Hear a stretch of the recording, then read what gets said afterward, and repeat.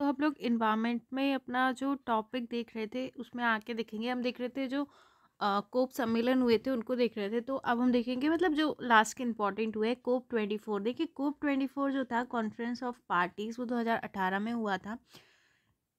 देखिए, दो से चौदह सितंबर दो हज़ार अठारह के दौरान पोलैंड के कैटोवाइस शहर में। कहाँ हुआ इंपॉर्टेंट होता है तो पोलैंड के कैटोवाइस शहर में United Nation framework convention of climate change conference of parties COP twenty four शिखर सम्मेलन आयोजित किया गया। तो ये कोप सम्मेलन जो U N F triple C के बाद हुए थे तो ये संख्या है ट्वेंटी फोर, ट्वेंटी फाइव मतलब कौन सा सम्मेलन है, ठीक है? तो पोलैंड के कैटोवाइज में हुआ था दो हज़ार अठारह में। क्योटो प्रोटोकॉल में शामिल सदस्यों का सम्मेलन सी एम पी फोर्टीन भी कोप ट्वेंटी फोर के साथ साथ कैटोवाइज में ही आयोजित किया गया।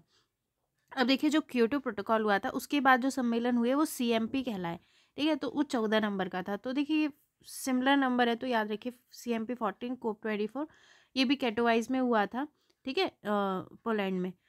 आ, इस शिखर सम्मेलन में वर्ष 2015 में किए गए पैरिस समझौते की व्यवहारिक क्रियान्वयन पर विस्तृत विचार विमर्श किया गया। अब ये बस जो इंपॉर्टेंट चीज़ें होती है वो देखते हैं कि इन सम्मेलन में कुछ इंपॉर्टेंट हुआ क्या। तो इसमें क्या हुआ था कि 2015 में जो पेरिस समझौता हुआ था उसके मतलब क्रियान्वयन पर आ, मतलब कैसे उसको क्रियान्वय किया जाए इस पर विचार विमर्श किया गया। जलवायु परिवर्तन शिखर सम्मेलन में लिए गए प्रमुख निर्णय अब इसमें कौन से इंपॉर्टेंट निर्णय लिए गए? इस शिखर सम्मेलन में पेरिस समझौते के क्रियान्वयन पर विस्तृत नियमावली रूल बुक का मसौदा तैयार किया गया।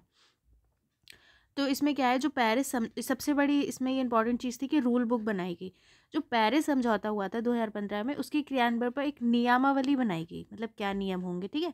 तो रूल बुक बनाई गई इंपॉर्टेंट है। शिखर सम्मेलन में शामिल 200 देशों के प्रतिनिधियों ने इस नियमों पर सहमति व्यक्त की, ठीक है? तो जो भी 200 देश इसमें शामिल हुए थे उन्होंने इस पर सहमति व्यक्त की। ये नियम वर्ष 2020 से पेरिस जलवायु परिवर्तन समझौते के क्रियान्वयन के लिए आधार पर कार्य करेंगे, ठीक है? तो 2020 से क्या है, जो पेरिस जलवायु परिवर्तन समझौता है, उनके क्रियान्वयन के लिए एक आधार बताएँगे, एक मतलब नियम बताएँगे कैसे काम करना है। इन नियम के तहत विकसित देश विकासशील देशों को जलवायु परिवर्तन की चुनौतियों का सामना करने के लिए वित्त की उपलब्धता में पारदर्शिता बनाए रखेंगे। देखिए विकासशील देश जो होते हैं, उनके पास पैसा कम होता है तो विकसित देश जो डेवलपिंग कंट्री है, उन्होंने पहले डेवलपमेंट कर लिया, पॉल्यूशन बहुत फैला लिया तो उनको पैसा देना चाहिए। तो मतलब जो वित्त की उपलब्धता में वो ट्रांसपेरेंसी बनाए रखेंगे। धातव्य है कि पेरिस जलवायु परिवर्तन समझौते के तहत जलवायु परिवर्तन की चुनौतियों का सामना करने के लिए विकसित देश विकासशील देशों को ग्रीन क्लाइमेट फंड के माध्यम से प्रतिवर्ष सौ बिलियन डॉलर प्रदान करेंगे। तो ठीक है, जो विकसित देश है वो विकासशील देशों को एक ग्रीन क्लाइमेट फंड है, इसके बारे में आपको पुराने वीडियोस में पढ़ा चुकी हूँ। उसके तहत प्रतिवर्ष सौ बिलियन डॉलर देंगे। इस नियमों में यह भी निर्धारित किया गया कि विभिन्न देश किस प्रकार ग्रीन हाउस गैस उत्सर्जन में कमी, शमन और अनुकूलन के उपायों को अपनाएँगे। तो मतलब जो देश हैं वो किस तरीके से मतलब ग्रीन हाउस गैसेस को कम करेंगे, ठीक है? उनका शमन या अनुकूलन उपाय, ये क्या है? अभी डिटेल बताऊँगी, कैसे इन चीज़ों को करेंगे। साथ ही अपनी राष्ट्रीय कार्य परियोजना के बारे में भी जानकारी प्रदान करेंगे, ठीक है? तो बताएँगे उनकी राष्ट्रीय कार्य परियोजना क्या है। ये नियम शिखर सम्मेलन में शामिल देशों को ग्रीन हाउस गैसों के उत्सर्जन, लेखांकन और कार्बन कटौती की गणना करने में अधिक स्पष्टता प्रदान करेंगे। तो देखिए, इन नियमों से क्या होगा, जिसमें शामिल देश हैं तो मतलब एक अकाउंटिंग करना कि कितना ग्रीन हाउस गैस उत्सर्जन हुआ है, कितनी कार्बन कटौती हुई, इसकी गणना मतलब अकाउंटिंग कैसे करें, गणना कैसे करें? इसमें स्पष्टता प्रदान करेंगे। तो मतलब क्या क्या है नियमों में? इस शिखर सम्मेलन में शामिल देशों ने ग्रीन हाउस गैस उत्सर्जन की एक समान रूप से गणना के तरीके पर सहमति व्यक्त की है। अब देखिए, सब लोग एक सेम गणना करेंगे मतलब एक तरीके से ही मतलब काउंट करेंगे। तो देखिए मतलब फिर हमें एक इक्वलिटी पता चलेगी मतलब सही चीज़ पता चलेगी। तो मतलब जो भी इसमें शामिल देश है, वो ग्रीन हाउस गैस उत्सर्जन की एक समान रूप से गणना मतलब एक तरी, एक समान रूप से गणना के तरीके पर सहमति व्यक्त करे, करी इसमें। जिसके तहत यदि अल्पविकसित देशों को लगता है कि निर्धारित मानकों को पूरा नहीं कर सकते तो वे संबंध में अपनी क्षमता के अनुरूप योजना पेश कर सकते हैं। अब देखिए, जो लीज डेवलपमेंट कंट्री है, जो बहुत ही गरीब कंट्री है, अगर वो मान लीजिए ये मानकों को पूरा नहीं कर पा रही हैं तो जितनी उनकी क्षमता है, उसके अनुरूप वो योजना पेश करेंगे। इस शिखर सम्मेलन में शामिल देशों ने वर्ष 2023 में जलवायु परिवर्तन की प्रभावशीलता का आकलन करने एवं प्रौद्योगिकी विकास और हस्तांतरण पर प्रगति की निगरानी और रिपोर्ट करने के तरीके पर सहमति व्यक्त की। अब देखिए क्या होता है ना, देखिए टेक्नोलॉजी विकसित देशों के पास है, लेकिन वो देना भी नहीं चाहते हैं।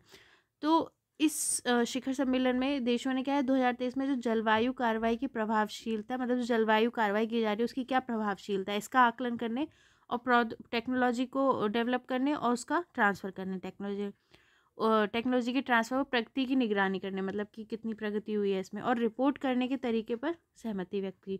हालाँकि भारत समेत कई देशों द्वारा इस नियमावली के प्रति यह कहकर संदेह व्यक्त किया गया कि ये नियम जलवायु परिवर्तन जैसी गंभीर समस्या के निदान के लिए आवश्यक शीघ्रता प्रदान नहीं करते हैं। आपको संदेह है मतलब ये मतलब ये जो रूल्स हैं जो जलवायु परिवर्तन बहुत गंभीर समस्या है लोग समझ नहीं रहे हैं ठीक है देश भी समझ नहीं रहे हैं।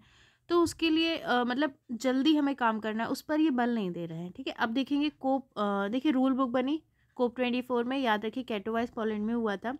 अब कॉन्फ्रेंस ऑफ़ पार्टीज़ का पच्चीसवां सत्र ठीक है कोप का ट्वेंटी फोर सम्मेलन। दिसंबर 2019 में स्पेन की राजधानी मैड्रिड में संपन्न कोप 26 अब तक का सबसे लंबी अवधि तक चला जलवायु परिवर्तन शिखर सम्मेलन था। तो कोप 25 जो था वो तो 2019 में हुआ था। स्पेन की जो राजधानी है मैड्रिड में, ठीक है? पच्चीसवा मैड्रिड स्पेन में हुआ था और सबसे लंबा चला था। यह पेरिस समझौते के पक्षकारों की बैठक के रूप में सेवारत दलों के सम्मेलन का दूसरा सत्र सी एम ए टू भी था। तो अब देखिए, जो पेरिस समझौता हुआ था, उसके बाद की जो उस पर जो बैठकें हुई, उसका ये दूसरा था, सी एम ए टू था, ठीक है? अलग अलग नाम है, दूसरा सम्मेलन था। पहले ये सम्मेलन चिली में होना निर्धारित था, लेकिन चिली ने चिली ने देश के बढ़ते विरोध प्रदर्शनों के चलते इसका आयोजन करने में अपनी असमर्थता व्यक्त की थी, ठीक है? पहले होना था चिली में, लेकिन क्या है, चिली में उस वक्त विरोध प्रदर्शन चल रहे थे तो वहाँ ना होके स्पेन, मैड्रिड में हुआ स्पेन के, ठीक है? सम्मेलन की अध्यक्षता चिली सरकार द्वारा की गई, लेकिन अध्यक्षता चिली ने की थी। इस शिखर सम्मेलन में संयुक्त राष्ट्र पर्यावरण कार्यक्रम की एमिशन गैप रिपोर्ट के साथ ही ग्लोबल कार्बन प्रोजेक्ट की रिपोर्ट भी जारी की गई। तो देखिए रिपोर्ट्स भी आती हैं तो क्या है? जो संयुक्त राष्ट्र पर्यावरण कार्यक्रम की एमिशन गैप रिपोर्ट ठीक है? ग्लोबल कार्बन प्रोजेक्ट रिपोर्ट भी जारी की गई। प्रमुख बिंदु अब इसमें क्या क्या हुआ? इस शिखर सम्मेलन में 2015 के ऐतिहासिक पेरिस जलवायु समझौते के लक्ष्यों के अनुरूप पृथ्वी पर वैश्विक तापन के लिए उत्तरदायी ग्रीन हाउस गैस में कटौती के लिए तत्काल आवश्यकता का आह्वान किया गया। तो 2015 में जो पेरिस जलवायु समझौते हुए थे, ठीक है? तो उसमें क्या है, उन लक्ष्यों के अनुरूप पृथ्वी पर वैश्विक तापन के लिए मतलब ग्लोबल वार्मिंग बढ़ाने के लिए जो उत्तरदायी है ग्रीन हाउस गैस गैस, उनकी कटौती के लिए मतलब तत्काल आवश्यकता है मतलब बहुत ज़रूरी है कि उन्हें हाल उन पर, उस पर काम किया जाए, उनमें कटौती की जाए। वार्ताकार सबसे महत्वपूर्ण और विवादास्पद मुद्दों में एक कार्बन बाजारों के विनियमन हेतु समझौते पर पहुँचने विफल रहे। अब एक विवादास्पद जो मुद्दा यहाँ पे रहा कि कार्बन बाज़ार जो होता है कार्बन मार्केट ठीक है उसके विनियमन हेतु समझौता नहीं हो, हो सका। इस सम्मेलन में विकासशील देशों द्वारा बढ़ते तापमान के कारण होने वाली हानि के लिए उत्तरदायी संबंधी मुद्दों पर ज़ोर दिया गया जिसका संयुक्त राज्य अमेरिका ने विरोध किया। तो देखिए विकासशील देश कहते हैं कि जो टेम्परेचर बढ़ रहा है, उसके कारण जो हानि हो रही है, वो सबसे ज़्यादा देखिए इन्हीं कंट्रीज़ को हो रही है, विकासशील देश है, उनको ही ज़्यादा प्रॉब्लम हो रही है। तो मतलब तापमान कारण होने वाली हानि के लिए उत्तरदायी संबंधी मुद्दों पर ज़ोर दिया और यूएस ने इसका विरोध किया। इस प्रकार ये शिखर सम्मेलन निराशाजनक स्थिति के साथ संपन्न हुआ मतलब इसमें कुछ परिणाम नहीं निकल सके। वर्तमान में वर्ष 2020 में ग्लासगो, स्कॉटलैंड में होने वाले कोप ट्वेंटी सिक्स के लिए जलवायु परिवर्तन संबंधित कई जटिल मुद्दों को अनुत्तरित छोड़ दिया गया। तो मतलब कुछ अच्छा सा इसमें रिज़ल्ट नहीं निकला। देखिए अब कोप ट्वेंटी सिक्स, ग्लासगो में, ठीक है? ग्लासगो क्लाइमेट पैक्ट हुआ था कोप ट्वेंटी सिक्स में, ये याद रखिए। जलवायु परिवर्तन पर संयुक्त राष्ट्र framework, United Nation framework convention on climate change U N F triple C के अंतर्गत शीर्ष निकाय कॉन्फ्रेंस ऑफ़ पार्टी के छब्बीसवें कोप ट्वेंटी सिक्स सत्र का आयोजन इकतीस अक्टूबर से बारह नवंबर दो हज़ार इक्कीस तक यूनाइटेड किंगडम के ग्लासगो में किया गया। तो कोप ट्वेंटी सिक्स था वो यूके के ग्लासगो में हुआ, ये याद रखिए, ठीक है? 2021 में। COP twenty six U N triple C का छब्बीसवां, ठीक है? सम्मेलन। यूके के ग्लासगो में हुआ। इसमें प्रमुख बिंदु क्या है? कॉन्फ्रेंस ऑफ़ पार्टी के इस सत्र में ग्लासगो क्लाइमेट पैक्ट नामक समझौता अपनाया गया। तो देखिए, सबसे इंपॉर्टेंट बात जो है कि ग्लासगो क्लाइमेट पैक्ट अपनाया गया। गौरतलब है कि कोप ट्वेंटी सिक्स का मुख्य कार्य पेरिस समझौते के कार्यान्वयन के लिए नियमों और प्रक्रियाओं को अंतिम रूप देना था। मतलब जो भी पेरिस समझौता हुआ था तो उस समझौते को लागू करने, उसके कार्यान्वयन के लिए जो नियम है, जो प्रक्रियाएँ उनको अंतिम रूप देना था। ठीक है? इसका काम, इसमें से अधिकांश नियमों को वर्ष दो हज़ार अठारह तक अंतिम रूप दे दिया गया था, लेकिन कुछ प्रावधान जैसे कि नए कार्बन बाजारों के निर्माण से संबंधित अनसुलझे रह गए थे। ठीक है? मैंने आपको अभी लास्ट में बताया कि जो हमारा कोप ट्वेंटी फाइव हुआ था तो उसमें बताया कि इस पर कार्बन बाजारों पर उनमें विवाद हो गया था। तो अधिकांश नियमों को तो 2018 में अंतिम रूप दे दिया गया था, लेकिन कुछ प्रावधान, जैसे नए कार्बन कार्बन बाज़ार के निर्माण से संबंधित जो मुद्दे थे वह अनसुलझे रह गए थे। ग्लासगो शिखर सम्मेलन ने विश्व के देशों से आग्रह किया कि वर्ष 2022 में मिस्र में मिस्र में आयोजित कोप 27 तक वे अपने वर्ष 2030 के लक्ष्य को और सशक्त बनाने पर विचार करें। ठीक है तो इस जो ग्लासगो शिखर सम्मेलन हुआ था, उसमें क्या है देशों से बोला गया कि 2022 में जो मिस्र में कोप ट्वेंटी सेवन होना है उस तक होने तक 2030 के जो उनके लक्ष्य है, उसको और मज़बूत बनाने पर विचार करें। शिखर सम्मेलन में ग्लोबल वार्मिंग को 1.5 डिग्री सेल्सियस से अधिक नहीं होने देने का ये डॉलर का साइन गलत आ गया। ठीक है? तो इसमें क्या है? ग्लोबल वार्मिंग को 1.5 डिग्री सेल्सियस से अधिक नहीं होने देने का लक्ष्य रखा गया और लगभग कि मतलब जो टेम्परेचर है वो एक वन पॉइंट फाइव डिग्री से ज़्यादा नहीं बढ़ना चाहिए। ठीक है? लगभग एक सौ चालीस देशों ने अपने उत्सर्जन को शून्य शुद्ध शून्य, नेट ज़ीरो तक लाने हेतु तो अपनी लक्ष्य तिथियों की घोषणा की। मतलब उन्होंने बताया कि कब तक वो जो उनका उत्सर्जन है ग्रीन हाउस गैस का, उसको नेट ज़ीरो तक ले आएँगे। ठीक है? किस डेट तक? तो ये हुआ, आगे का हम नेक्स्ट वीडियो में देखेंगे इंपॉर्टेंट चीज़ें। Thank you.